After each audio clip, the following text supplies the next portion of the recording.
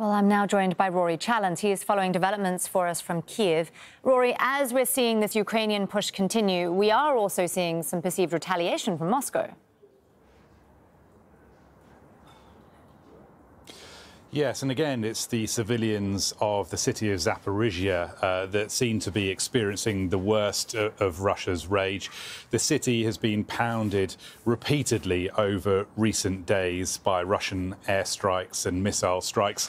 It, it's indiscriminate at best. At worst, it seems intentional. That's how most Ukrainians interpret it, is why they describe Russia as a terrorist state.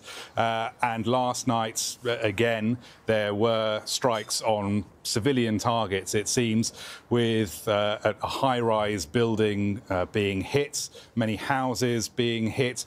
The death toll, as we understand it at the moment, is 17.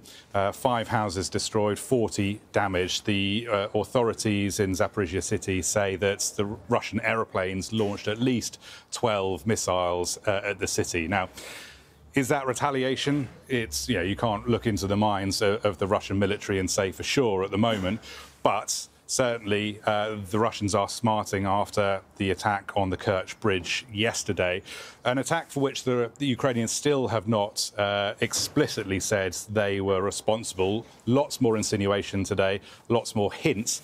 In his uh, ad video address to the nation last night, uh, President Zelensky framed it as a weather report, uh, saying that over most of Ukraine, uh, conditions were good and sunny, but over Crimea, it was a bit cloudy. Rory Challands there following developments from Kiev for us. Thank you so much, Rory.